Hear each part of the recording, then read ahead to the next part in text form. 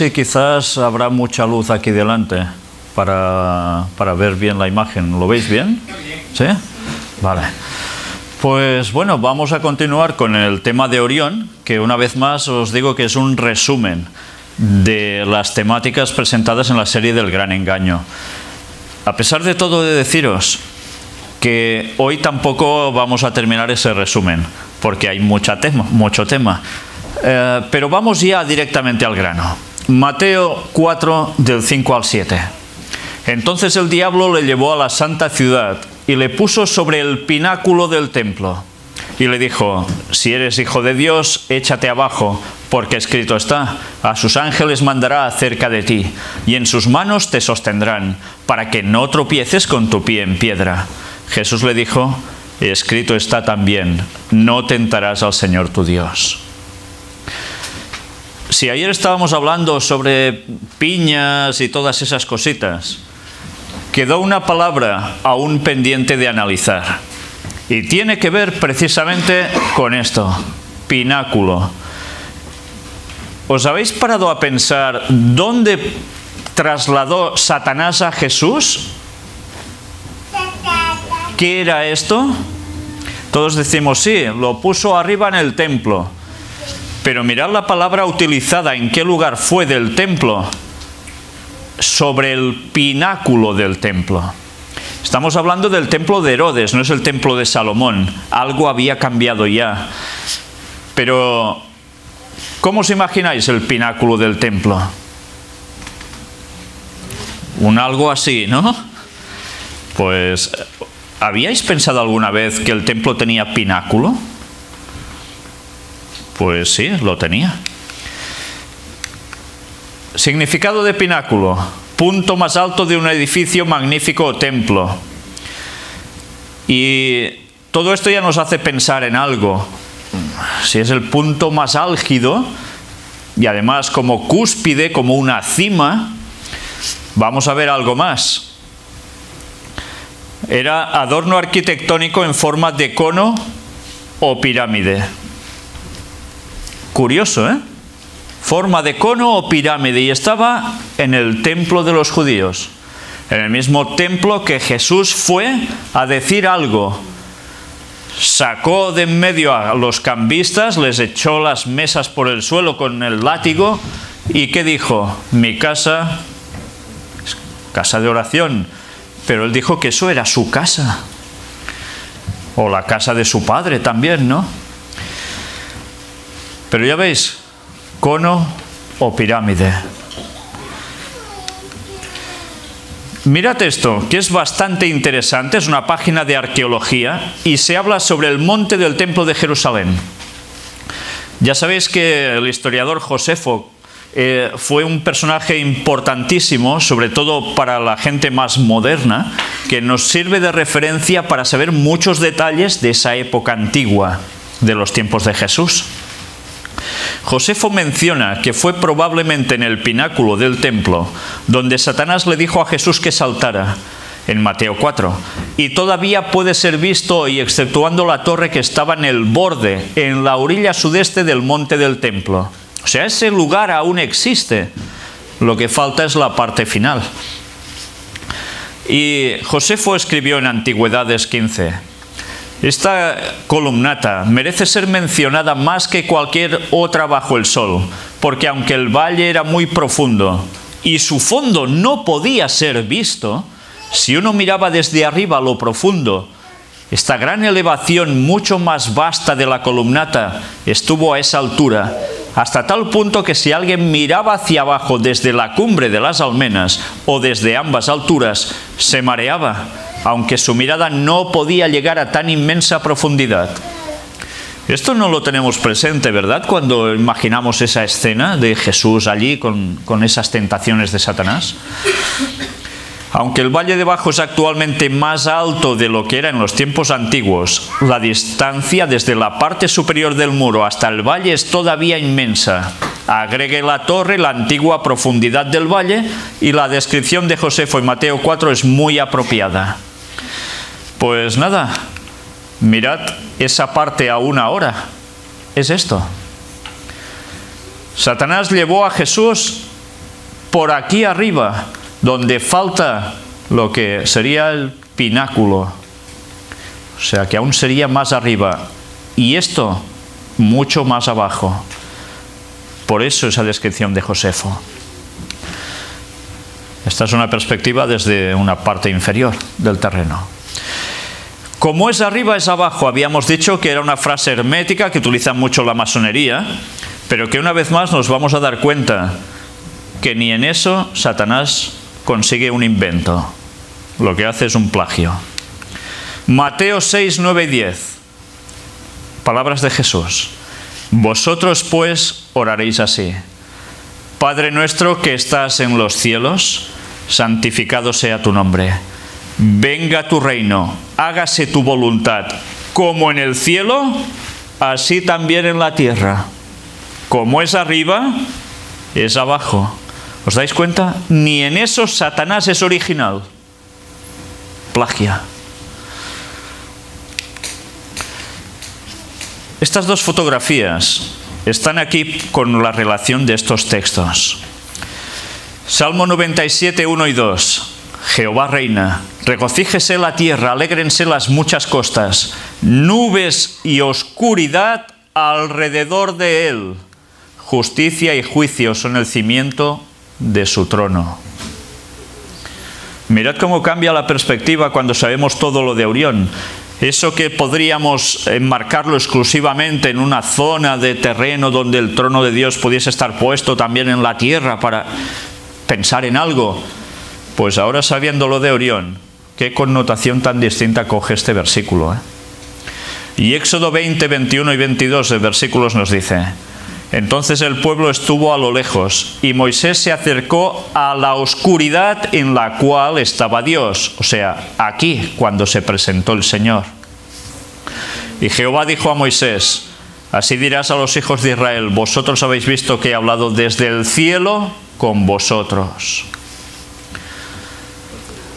Cuando el Señor bajó, hizo una representación en pequeño, en definitiva, del mismo Orión donde está su trono, para venir a hablar con Moisés. Se rodeó de oscuridad, igual donde está su trono, pero a su vez donde también hay luz.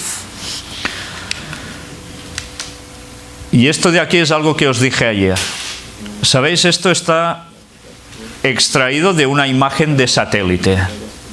Esto no lo vais a ver normalmente en ningún lugar. A mí me lo dio un señor que tiene una librería judía en Girona, en mi ciudad, aunque él es evangélico.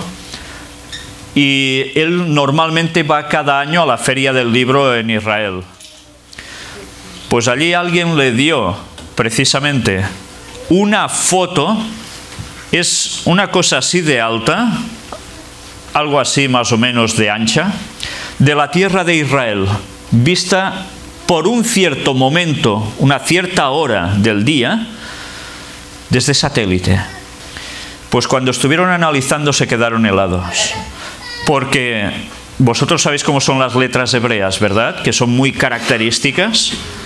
Mirad que aparece todo lo que veis aquí. Esto es montañas vistas desde el satélite. Pues mirad qué hay visto desde arriba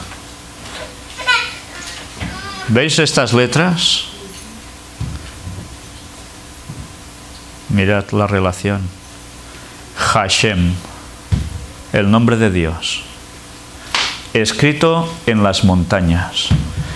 Pero no escrito por alguien que ha dado golpecitos allí, sino que esto es la división natural entre montañas y montañas. Esto no es mano humana, esto es mano divina esculpiendo el propio nombre de Dios. También está Efraín y también Luz, Betel, donde hay la puerta al cielo. Y otro por allí. Y Jerusalén está aquí. Nadie puede explicar cómo precisamente a una cierta hora, por el sombreado del sol, se muestran las letras hebreas que dan justo este nombre. En fin, cosas del Señor que sobrepasan cualquier entendimiento humano. El Señor tiene su firma puesta en ese lugar. Joyas de los testimonios de Lenguay, tomo 2. Ya nos adentramos un poco en algo que seguirá la dinámica de lo que tratábamos ayer de algo que hay en nuestra mente, por donde hay comunicación divina. ¿eh? Los ángeles impresionarán las mentes. Cuando el Espíritu de Dios obra sobre la mente del afligido y le induce a indagar la verdad, trabaje el médico por el alma preciosa como trabajaría Cristo. No trate de insistir ante él acerca de ninguna doctrina especial, sino señálele a Jesús como el Salvador que perdona el pecado. Los ángeles de Dios impresionarán la mente. Algunos se niegan a ser iluminados por la luz que Dios quisiera dejar resplandecer en, atención, las cámaras del Espíritu y en el templo del alma pero muchos responderán a la luz y en esas mentes quedarán disipados el engaño y el error en sus diversas formas. ¿Habéis visto lo que he leído? Resplandecer en las cámaras del espíritu y en el templo del alma. Vamos a ver algo. El original en inglés, que vosotros supongo que lo sabéis, pone esto. ¿Veis una diferencia en alguna palabra? La traducción al español que hemos leído, las cámaras del espíritu y en el templo del alma. ¿Veis lo mismo aquí en inglés que lo que se ha traducido al español? Aquí tenéis la frase en inglés donde pone mint, ¿cómo lo pronunciáis? Mind o ¿sí? Sería la verdadera traducción, no cámaras del espíritu, sino las cámaras de la mente y en el templo del alma. Mirad que cuando estábamos tratando ayer sobre esos plagios de Satanás, él sabe muy bien que tenemos ese punto que el mundo oriental se ha encargado también de fomentar y de desviar a la gente a través de él hacia el espiritismo. Pero sabe que hay las cámaras de la mente, ese lugar en concreto, donde hay algo más que un simple cerebelo. Y ahora una sorpresa también. Ayer os estuve mostrando cómo los templos estaban hechos en forma humana. Pero ¿os habíais parado a pensar que el templo de Salomón era también eso? ¿Un cuerpo humano? Pues aquí tenéis sus formas. Y nos podemos percatar enseguida que algo vemos, y de un modo claro, cuando lo estructuramos tal como era. Esto no es el tabernáculo del santuario, es el templo de Salomón, un edificio fijo. Mirad, primero de todo, ¿qué hay arriba? Lo que sería la zona del turbante. Pues bien, era la forma que tenía. Parte número dos, dos grandes estrellas en cada lado. Se trata de dos querubines de altura de 10 codos de oro chapado en madera de olivo que son los ojos dentro de la cabeza del hombre del templo, mientras que la cabeza es el lugar santísimo. La cabeza, el lugar santísimo, ¿por qué? Pues porque es donde se manifiesta Dios. Es por donde habla Dios. ¿No hablaba allí el Señor? Sí, porque allí que había el arca de la alianza. Este es un cofre de oro plateado con una tapa de oro macizo y dos pequeños querubines, estrellas pequeñas. El arca es su nariz y sus polos. Cuando se monta en los lados largos y dibujado hacia adelante, representan las ventanas de la nariz oliendo el humo del altar del incienso, que está precisamente aquí en el lugar santo. Sabéis, normalmente, por porque mucha gente no ha estudiado bien el tema, cuando dispone el arca de la alianza, la pone que, tal como entraba el sumo sacerdote, se la encontraba no en esta posición, sino en posición cruzada. Pues eso no era así. El arca en verdad estaba dispuesta así. Y todo eso tiene su significación, especialmente porque era el modo en que el sacerdote se giraba hacia la derecha y ponía la sangre aquí. Recordemos como Ron Wyatt, la sangre que encuentra de Jesús ya no es en este lado, sino en el lado reservado para él, que es en el otro. Todo esto tenía una serie de significaciones tremendas. Luego vemos la escalera o la rampa que conducía del lugar santo al lugar santísimo, que vendría a ser el cuello de esta figura humana. Aquí el altar del incienso, que sería el corazón de la nación de Israel, dicen aquí, pero que de allí que subía el humo dulce, o sea, las oraciones también, ¿no? Al Señor. Habían las mesas de los panes de la proposición. ¿Dónde estaban ubicados? Pues ya los veis. ¿Y qué podría tener esto en consecuencia? Mirad que a veces de páginas que dicen cosas buenas también hay que ir con cuidado. Porque dicen, estas mesas bañadas en oro estaban el pan y el vino, símbolo de la carne y huesos, es decir, la humanidad de la nación de Israel. ¿Es cierto? Sí, en cierta forma. Pero en verdad esto, ¿qué significaba? El pan, ¿quién era? Era Cristo mismo. Porque todo, en verdad, todo el templo y, todos los utensilios simbolizaban al mismo Jesús. Por eso, examinarlo todo y retener lo bueno. Y desde luego aquí hay mucha cosa buena, pero a veces eh, siempre puede haber un detallito que hemos de tener en cuenta para que no nos cuelen cosas que no son. ¿eh? Después las, lámparas, los candelabros de siete brazos, las menorás. Ya sabéis que en el templo de Salomón no solo había uno. ¿Cuántos habían? Un, dos, tres, cuatro, cinco, seis, siete, ocho, nueve, diez. De siete brazos. Total, setenta. Y ellos lo acreditan aquí como a, a los 70 israelitas que aparecen en Éxodo 1.5, que eran descendientes de Jacob. Pero desde luego, después hay algo más las dos columnas, Jaquín y Boaz, las mismas dos columnas que la masonería sigue utilizando en sus logias, y el altar del sacrificio, donde serían los pies. Bueno, no todo era porque sí. Cuando hablamos del templo de Dios, el cuerpo nuestro es precisamente la simbología. Todo esto representaba a Jesús de arriba abajo, pero también nosotros participamos de su cuerpo. Mirad cómo las enseñanzas son continuas. Templo, cuerpo.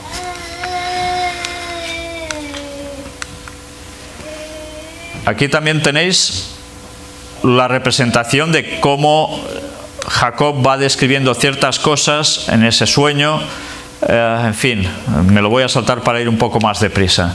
El sumo sacerdote llevaba en la cabeza la diadema o corona que tenía escritas las palabras Santidad a Jehová. ¿Y dónde ponía la corona? Evidentemente, en la cabeza. ¿Y dónde?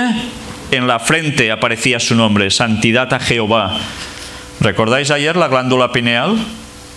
Pues claro que es Santa Jehová, porque eso se lleva aquí. ¿No hablamos también de que el sello de Dios dónde se va a llevar? En las frentes.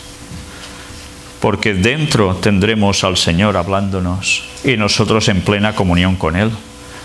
Las cosas de Satanás, fijaos que siempre responden a un plagio de lo que en verdad hay divino y él sencillamente lo tuerce. La escalera del lugar santo al lugar santísimo el sueño de Jacob, ¿no? Era una escalera, Betel, de la tierra, de ese lugar al cielo, a Orión, al trono de Dios. Mente, carácter y personalidad, tomo dos. Mirad qué nos dice aquí. Todo verdadero conocimiento y desarrollo tienen su origen en el conocimiento de Dios. Doquiera nos dirijamos al dominio físico, mental o espiritual, Cualquier cosa que contemplemos fuera de la marchitez del pecado, en todo vemos revelado este conocimiento. Cualquier ramo de investigación que emprendamos con el sincero propósito de llegar a la verdad, nos pone en contacto con la inteligencia poderosa e invisible que obra en todas las cosas y por medio de ellas. La mente del hombre se pone en comunión con quién? Con la mente de Dios, de mente a mente. Lo finito con lo infinito. El efecto que tiene esta comunión sobre el cuerpo, la mente y el alma sobrepuja toda estimación. Mirad cómo continuamente es la mente, la relación. Se debería reconocer a Dios como el autor de nuestro ser. La vida que nos ha dado no es para malgastarla.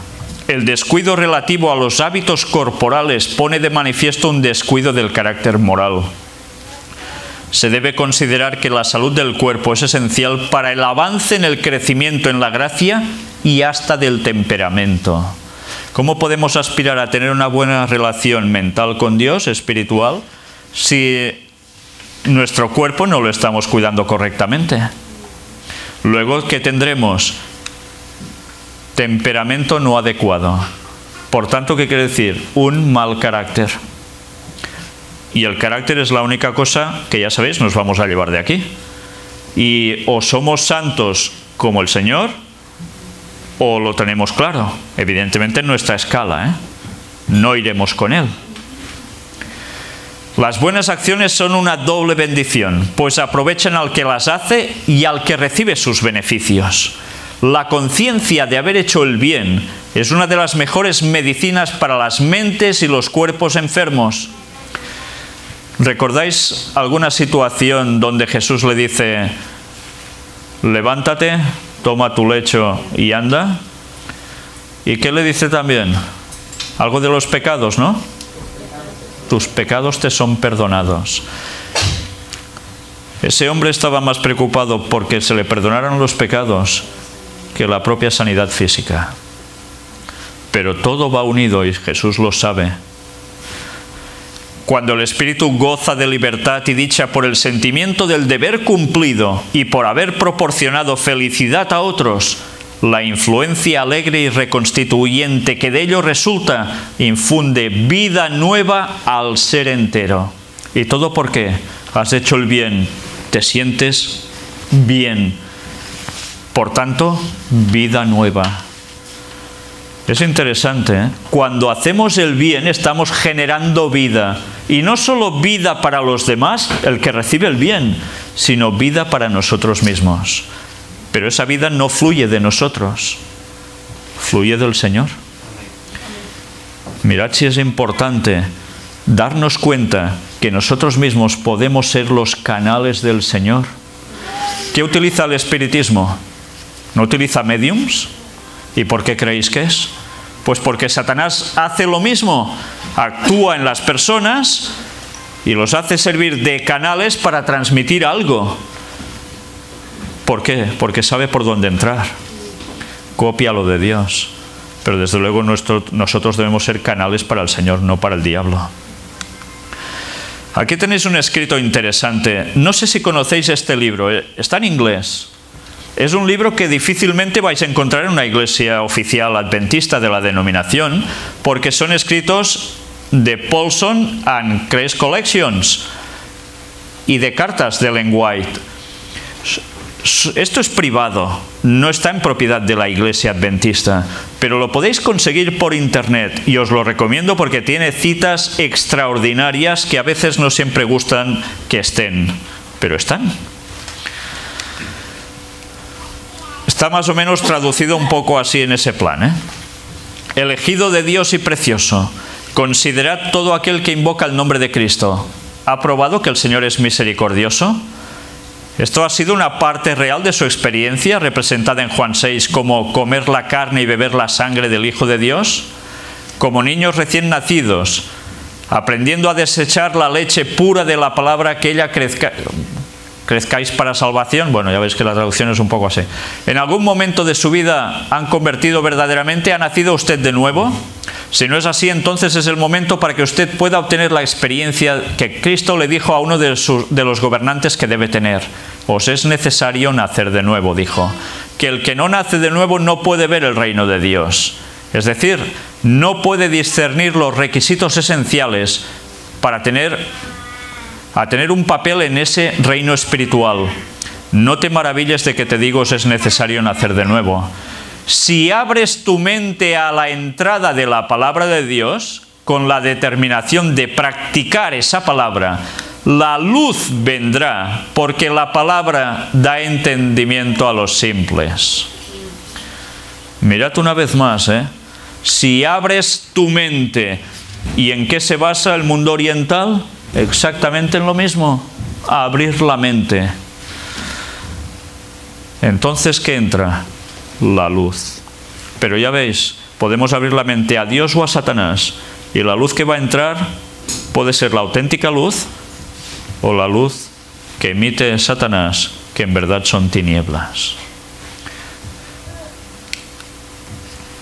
Bueno, mm, aquí una comparativa más eh, sobre Orión, aparte de todo el tema horóscopo, porque todo ese tema de Orión, situado en la glándula pineal, Adam Kadmon, es el nombre que le dan ellos al ser, al hombre, de un modo íntegro, y estoy hablando de los judíos cabalistas. Mirad cómo todas estas significaciones, estas gentes lo tienen más que recogido, pero evidentemente no como nosotros. ¿eh? En este libro de numerología y cábala veis precisamente el árbol sefirótico con las distintas numeraciones, hay 10 interconectadas. Todo esto también tiene una cierta forma que ya vimos. Y todo esto, ellos le dan una importancia vital. La palabra como fuente de vida que además reciben de arriba, de la cabeza. Mirad como siempre la cábala también está jugando a lo mismo. Y cómo también se plasma Jaquín, Boaz, las dos columnas. Y mirad estos símbolos, los conocéis bien, ¿verdad? Pues todo esto tiene que ver con las creencias de ellos, la estrella de seis puntas. ¿Os dais cuenta cómo esto no provenía de Dios, en verdad? Y en cambio está en la bandera de un país como es Israel y también donde aparece, pues ya sabéis, en los temas de masonería y demás. Mirad la contraposición entre una cosa y otra. Leonardo da Vinci sabía lo que estaba haciendo y siempre los temas de la luz que se emite, que se recibe, etcétera, etcétera. Pero ahora vamos a hacer un pequeño giro a todo lo que estamos planteando mm, para mostrar algo más. Becerro, toro, Taurus. Un becerro es toro, toro es Taurus. Y Baal igual a Satanás. ¿Qué es todo esto? Arriba abajo, como en el cielo, así también en la tierra, dijo Jesús. En Deuteronomio 32 es un capítulo que no sé si tenéis Biblias, porque eh, cuando lo leemos, vale, lo leemos y nos quedamos un poco casi igual. Mirad a partir del versículo 9, porque nos vamos a dar cuenta que el tema de Orión está más implícito en los textos de lo que puede parecer a simple vista. Ayer que dijimos que era Orión, el cazador, ¿no? También porque la porción de Jehová es su pueblo, Jacob la heredad que le tocó. Le halló en tierra de desierto y en yermo de horrible soledad. Lo trajo alrededor, lo instruyó, lo guardó como a la niña de su ojo. Como el águila que excita su nidada, revolotea sobre sus pollos, extiende sus alas, los toma, los lleva sobre sus plumas. Jehová solo le guió, y con él no hubo Dios extraño. Lo hizo subir sobre las alturas de la tierra y comió los frutos del campo, e hizo que chupase miel de la peña y aceite del duro pedernal. Mantequilla de vacas y leche de ovejas con grosura de corderos y carneros de Basán, también machos cabríos con lo mejor del trigo, y de la sangre de la uva bebiste vino. Y mirad ahora qué dice aquí pero engordó Jesurún y tiró coces. Engordaste, te cubriste de grasa. Cuando leéis esto, ¿qué entendéis vosotros? Engordó Jesurún y normalmente vamos, vamos siguiendo leyendo porque ¿quién es Jesurún? Ni idea. Y seguimos. y tiró coces. Pues debe ser algún animal que, que da coces, un burro, no sé. Engordaste, te cubriste de grasa. Ah, aquí ya vemos que está diciendo que hay una gordura, que te cubres de grasa, y se está refiriendo a seres humanos, a alguien. Entonces abandonó al Dios que lo hizo y menospreció la roca de su salvación. Le despertaron a celos con los dioses ajenos, lo provocaron a ira con abominaciones. Sacrificaron a los demonios y no a Dios, a dioses que no habían conocido, a nuevos dioses venidos de cerca, que no habían temido vuestros padres, de la roca que te creó olvidaste. ¿Te olvidaste? Te has olvidado de Dios tu creador. Y ahora diréis, bueno, ¿y esto qué es? Vamos a ver qué es. Vamos a Strong. Os sigo recomendando. Por internet tenéis Strong, la podéis buscar. Pero no estaría mal que hicieses una inversión en el libro escrito, porque realmente vale la pena y a veces hay diferencias respecto a lo que aparece por internet. Yesurum, que es lo que hemos leído nosotros como Jesurum, recto, vertical. Jesurún, nombre simbólico para quién? Para Israel. Por tanto, Jesurún es Israel, pero en un plano poético. Pero mirad, recto, vertical. ¿Cómo le llamáis algo vertical? Bueno, hemos visto dos palabras, arriba, abajo, ¿no? Pues vamos a ver algo más. El Altísimo, águilas o águila, plumas. Roca, Jehová, Cristo, igual a la roca. Base del templo de Jerusalén y de nuestra salvación. Porque el templo de Jerusalén se edificó porque había algo, había una roca, una roca que sirvió como referencia para poner el templo. ¿Por qué? Porque allí fue donde alguien iba a sacrificar a su hijo. ¿Recordáis el personaje bíblico? Abraham, ¿con quién? Con Isaac. ¿Y qué simbolizaban Abraham y Isaac en esos momentos? Sobre todo, ¿no era acaso el sacrificio de Cristo por nosotros? Jesurún engordó, decía el texto. Igual a Orión, igual a gordo. ¿Recordáis que estuvimos mostrando que Orión también significaba gordo? Pues Jesulún engordó. Orión igual a gordo, arriba, abajo, igual. Sacrificios a demonios, no a Dios. ¿Por qué? Porque habían dejado de estar en contacto con Dios y con quién estaban? Con el otro. Hablando de Orión, va, vamos directos. Orión está compuesto básicamente de ocho estrellas, que son las que vemos más refulgentes. Pero ¿sabíais que las pirámides también tienen ocho caras? Diréis, ocho caras. No, es así, así, hasta ahí, son cuatro. Pues uh, bueno, hay alguna pirámide que precisamente no es de cuatro. Aquí tenéis la constelación de Orión, el cazador. Y Aquí tenéis precisamente el cinturón de Orión y las famosas ocho estrellas que contiene. Número de estrellas 8, de magnitud 3. Aquí las veis mejor con sus nombres. Mirad que aparece aquí, en esta página dedicada a cosas de cuestiones egipcias, del antiguo Egipto, las ocho caras de la gran pirámide. Resulta que hay algo muy curioso en ellas. Las ocho caras laterales de la Gran Pirámide, no de todas, sino de la Gran Pirámide, Flinders Petrie ya observó, entre otros aspectos morfológicos, que la sección horizontal de la Gran Pirámide tiene forma octogonal de estrella de cuatro puntas, pues cada una de las caras está compuesta por dos planos, con ligera pendiente hacia adentro, o sea, un poco así. ¿Me entendéis? No es totalmente lisa, es así. Pues mirad qué más nos dice. Esto no se puede ver ahora prácticamente porque lo que lo recubría ya se ha ido. Entonces, todo esto tenía que ver precisamente con proyecciones de sombras de equinoccios.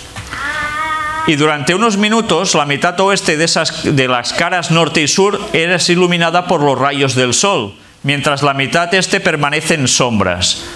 Hacia el ocaso ocurre al contrario, quedando iluminada la mitad este de las caras norte y sur, mientras la mitad oeste queda en sombras.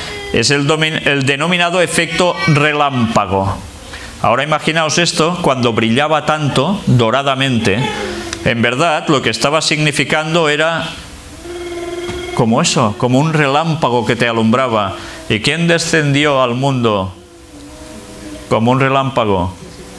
Satanás, ¿eh? Pero algo más, algunas versiones bíblicas no ponen constelación de Orión así tal cual, sino que le llaman Kesil. Y no tiene nada que ver con queso. ¿eh? Kesil. Aquí tenéis Orión tal como se ve de noche. Vamos a Strong otra vez y ahora empezaremos a llevarnos unas sorpresas. Kisil, gordo, gordura, tonto, bobo, ya lo vimos ayer, fatuo, insensato, necedad, necio. Kesil, cualquier constelación notable, especialmente Orión, como robusta, Orión, lucero. Mirad, ¿y Satanás cómo era apodado también? Lucero. Una vez más nos damos cuenta que Satanás prácticamente todo lo de Dios en conjunción. ¿eh? Después ya sabemos cómo todo ha ido diferenciándose tanto. Pero también Kesil, un lugar en Palestina. Curioso, ¿eh? Arriba, Kesil, abajo, Kesil. ¿Qué es Kesil? Pues bueno, aquí lo tenéis, lugar en el sur de Judá, no identificado. Puede ser el lugar llamado Betul o Betuel. Pues aparte de que es necio gordo. Aquí tenéis Betul, otro nombre para Betuel. ¿Y Betuel qué significa? Pues probablemente hombre, filiación, casa, templo de Dios o morador en Dios. ¿Templo de Dios os suena de algo? ¿Qué otro nombre se utiliza para decir templo de Dios o casa de Dios? Y se parece a este otro nombre, Betuel. ¿No suena a nada? Betel. ¿Sí? Pues Curiosamente, vamos mirando las distintas palabras. Batá, de donde proviene todo, desolación, desierto, Betul, un lugar en Palestina. Betul, es decir, Betuel. Y aquí tenéis Betuel, destruido de Dios, nombre de un sobrino de Abraham y de un lugar en Palestina. Él, ¿qué significa él? Fortaleza como poderoso, especialmente el todopoderoso. Por tanto, es Dios, ¿no? Orión igual a Kesil, que es igual a Betuel. Betuel es igual a hombre, filiación, casa, templo de Dios o morador en Dios. Betuel es similar a Betel. Y recordamos que Betel, el Beitel, Dios de Betel, es el título dado a un lugar consagrado por Jacob. ¿Y dónde aparece Betel? ¿En qué lugar es que él dice Betel? ¿Qué hace? Pone una piedra, ¿no? También la unge con aceite. Todo esto eran representaciones y simbologías de algo más, ¿eh? Pues, ¿qué es Betel? Casa, templo de Dios. Por tanto, Betuel es igual al hombre, filiación, casa, templo de Dios o morador en Dios. Betel es casa, templo de Dios. Y si vamos mirando las raíces de las palabras de Jerusalén, mirad que nos llega a, nos va llevando a fundado en paz. Eso es lo que quiere decir Jerusalén, que tiene vinculación con todo ese lugar. Pero si vamos mirando la derivación de las palabras, no sé si sabéis cómo funciona una concordancia strong. Tenéis que buscar una palabra que aparece en vuestras Biblias, mejor si es la Reina Valera 1960 porque va en concordancia con esto, Y cuando encontráis la referencia del versículo, vais a este numerito que puede haber en el lado. Os pone la palabra en hebreo o en griego, dependiendo si es Antiguo o Nuevo Testamento, y el nombre. Os da la descripción del nombre, pero después hay estas referencias que es para complementar lo que nos quiere decir la palabra. Y así vamos sacando un significado extra que cuando leemos las Biblias normalmente no nos solemos enterar. Pues resulta que Jerusalén, Jerusalén, tiene también proveniente de las raíces de Yara. ¿Y qué es Yara? Fluir como agua, colocar o lanzar, una flecha, disparar, lluvia. Jerusalén tiene que ver con Yara, lluvia, flecha. ¿Y qué es Orión? Es el cazador, es el guerrero, el que además desciende como lluvia. Todo esto aquí está muy resumido, pero lo podéis encontrar mucho mejor explicado en todas esas conferencias, para que nos demos cuenta que con las palabras que se estaban utilizando para esto, en definitiva, lo que nos venía a decir es que Orión es la simbología de lo que Jesús hará cuando vuelva no viene desde Orión y Orión tiene una forma casual. Tiene esa forma porque con esa forma y esas palabras nos estaba diciendo algo. Desciende, arriba abajo, llover, agua, mente, cuerpo, Orión, Jerusalén. Siempre hay esa reciprocidad. Una enseñanza en definitiva. Y los ojos de nuestro entendimiento. Ayer estuvimos hablando de eso, ¿no? Mirad ahora los textos vistos desde otra perspectiva. Efesios 1, 17 y 18. Para que el Dios de nuestro Señor Jesucristo, el Padre de Gloria, os dé espíritu de sabiduría y de revelación en el conocimiento de Él. ¿Y qué dice? Alumbrando los ojos, los ojos físicos, ¿no? De vuestro entendimiento para que sepáis cuál es la esperanza que Él os ha llamado y cuáles las riquezas de la gloria de su herencia en los santos. Por tanto, la propia palabra de Dios está utilizando un lenguaje como también utilizan los del mundo del espiritismo. Siempre esa conexión, ¿eh? ¿Os dais cuenta cómo el filo es realmente difícil de saber si no estamos bien versados en la palabra de Dios? Qué fácil es que nos puedan tumbar. Hechos 17, 27 y 28 para que busquen a Dios y en alguna manera palpando puedan hallarle, aunque ciertamente no está lejos de cada uno de nosotros, porque en Él vivimos y nos movemos y somos, como algunos de vuestros propios poetas también han dicho, porque linaje suyo somos. Vivimos, nos movemos y somos en Él. Por tanto, participamos de qué? De su cuerpo, ¿Entendéis por qué la forma del templo como cuerpo humano no simbolizaba a Jesús? Nosotros participamos de su cuerpo. Orión, oriente. El este, ya sabéis que es un punto cardinal. Mirad algo curioso, que ahora vamos a darnos cuenta que nos va a servir para coger otro significado a versículos que una vez más no nos esperábamos. La palabra este proviene del inglés antiguo, ¿cómo lo pronunciáis eso? East.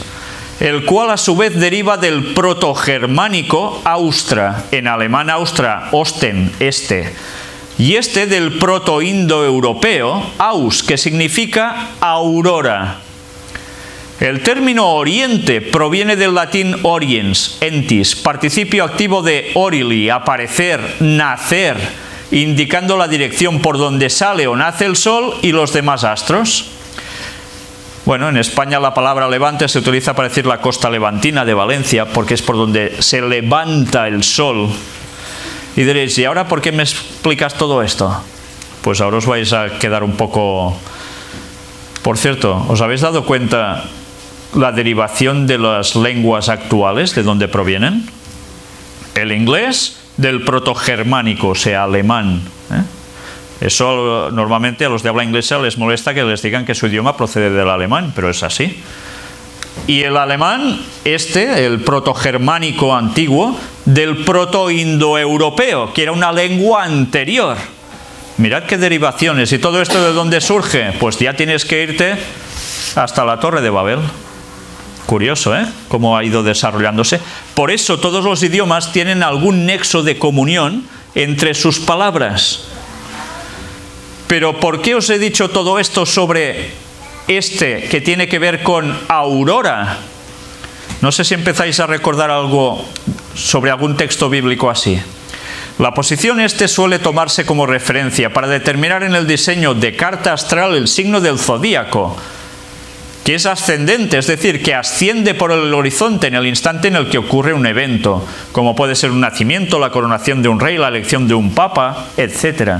Mirad Satanás, como siempre, sabe algo importante y ¿qué hace? ¡Hop!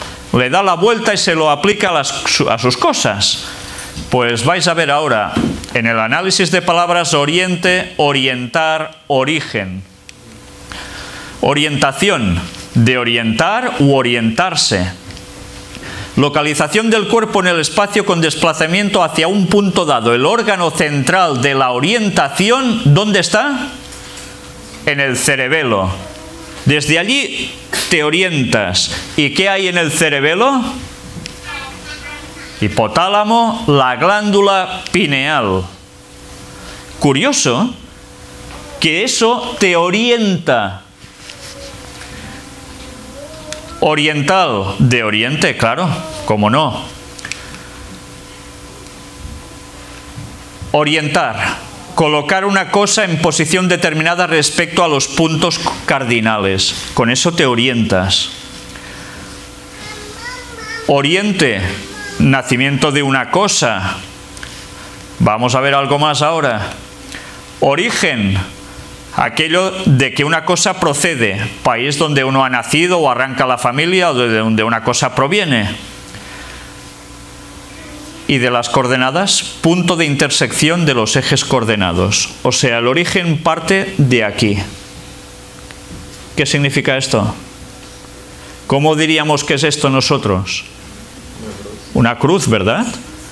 El origen nos orientamos, Orión, a partir de cruz. ¿De quién entonces? Del sacrificio de Jesús por nosotros.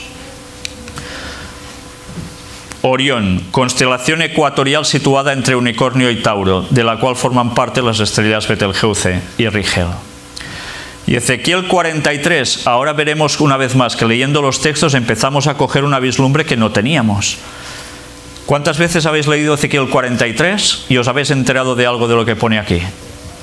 Sí, os habéis enterado de algunas cosas, evidentemente, pero ahora mirad esto. Me llevó luego a la puerta a la puerta que mira hacia el oriente. Nosotros cuando lleguemos a la Nueva Jerusalén, ¿no se van a abrir también las puertas? Y Oriente, Orión, pues mirad, me llegó a la puerta, a la puerta que mira hacia el oriente. Y aquí la gloria del Dios de Israel que venía del oriente. Y su sonido era como el sonido de muchas aguas y la tierra resplandecía a causa de su gloria. Y el aspecto de lo que vi era como una visión, como aquella visión que vi cuando vine para destruir la ciudad. Y las visiones eran como la visión que vi junto al río Quebar y me postré sobre mi rostro. Y la gloria de Jehová entró en la casa por la vía de la puerta que daba al oriente. Podía haber elegido cualquier otra puerta, ¿eh? No, la del oriente. Y me alzó el espíritu y me llevó al atrio interior. Y aquí que la gloria de Jehová llenó la casa todo en el oriente. Y por allí, ¿quién aparece? Ya lo sabemos, ¿no? ¿Recordáis este texto clave de Oseas 6 del 1 al 3? Lo estuvimos tratando para otro tema que parece que no tiene nada que ver con este. Pues resulta que la tiene toda la conexión. Venid y volvamos a Jehová porque Él arrebató y nos curará y Dios nos vendará. Nos dará vida después de dos días, en el tercer día nos resucitará y viviremos delante de Él. Ya lo hemos visto. Cuando vuelva Jesús en el año 6000, o sea, en el año 2031. Y conoceremos y proseguiremos en conocer a Jehová como el alba está dispuesta su salida. El alba. Y vendrá a nosotros como la lluvia, como la lluvia tardía temprana a la tierra. ¿Os dais cuenta de las palabras que hemos visto antes que cuando estaba pasando yo seguramente decíais, vaya paliza me está dando este hombre? Pues era para que entendierais bien el significado de todo esto. Si no analizábamos todas esas palabras, su origen, no podíamos saber que esto nos estaba haciendo referencia a la segunda venida de Jesús, viniendo desde Orión. Mirad cómo las cosas, cuando empezamos a profundizar, cogen un significado mucho más fuerte de lo que tantas veces llegamos a ver de un principio. Y hemos dicho alba, ¿verdad? Pues vamos a ver alba. Primera luz del día antes de salir el sol. Y mirad ahora, ¿de qué color? Blanco. ¿Os recuerda algo esto? Como el alba está dispuesta a su salida, dice el texto bíblico, venir desde Orión, del cielo a la tierra, por oriente. Y mirad el conflicto de los siglos, ¿qué nos dice? ¿Lo recordáis? Pronto aparece en el este, este, oriente, desde Orión, una pequeña nube negra de un tamaño como la mitad de la palma de la mano Dirás, es que aquí pone negra, no blanca. Es la nube que envuelve al Salvador y que a la distancia parece rodeada de oscuridad. El pueblo de Dios sabe que es la señal del Hijo del Hombre. En silencio solemne la contemplan mientras va acercándose a la tierra, volviéndose más luminosa y más gloriosa hasta convertirse en qué? En una gran nube blanca cuya base es como fuego consumidor y sobre ella el arco iris del pacto. Jesús marcha al frente como un gran conquistador. ¿Y que era Urión? No tenía que ver con Baal, decíamos Nimrod, mejor dicho más que Baal, Nimrod, el poderoso cazador vigoroso, el plagio satánico, por eso hizo todo lo de Nimrod. Pero el gran conquistador es Cristo, que viene de Orión, no es Nimrod. Ya no es varón de dolores que haya de beber el amargo cáliz de la ignominia y de la maldición. Victorioso en el cielo y en la tierra, viene a juzgar a vivos y muertos. ¿Os dais cuenta de Oseas 6.3? Como el alba está dispuesta a su salida,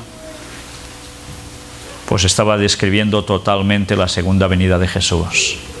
Por eso las personas que dicen, es que este texto parece indicar que es solo la primera venida de Jesús, que Jesús resucita al tercer día, y ya ni piensan en que esto va mucho más allá. Y se estaba haciendo referencia al momento del retorno de Cristo en la historia de la humanidad. Mirad cómo las cosas cuando se profundizan cambian tanto. Gracias a Dios que podemos ver esto. Primera venida, estrella de ángeles se mostró en el oriente, ¿verdad? Lo recordáis, ¿no? Segunda venida, nube blanca. Dios, Jesucristo y sus ángeles se mostrarán desde el oriente, igual. De oriente a occidente, metáforas, vamos a ver. Jesús como el sol. Primera venida de Jesús, la palabra se mostró a occidente desde dónde? Desde oriente. Y la segunda venida de Jesús se mostrará de oriente hasta occidente. Mateo 24, 26 y 27, ¿qué nos dice? Así que si os dijeren, mirad, está en el desierto, no salgáis. O mirad, está en los aposentos, no lo creáis. Porque como el relámpago que sale del oriente y se muestra hasta el occidente, así será también la venida del Hijo del Hombre.